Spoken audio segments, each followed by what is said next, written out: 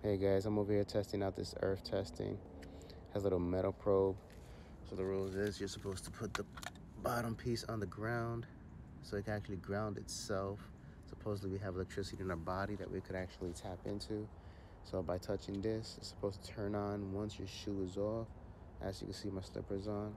Let's do this at the same time. I'll take my slippers off, put on the ground. Wow. And I ground myself.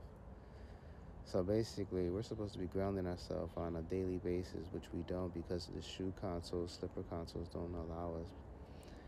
That is so crazy. So we need to start earthing, guys. Like stepping on this grass, the dirt, the concrete, because it's all made from earth.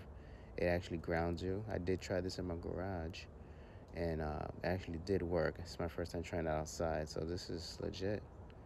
Um, crazy.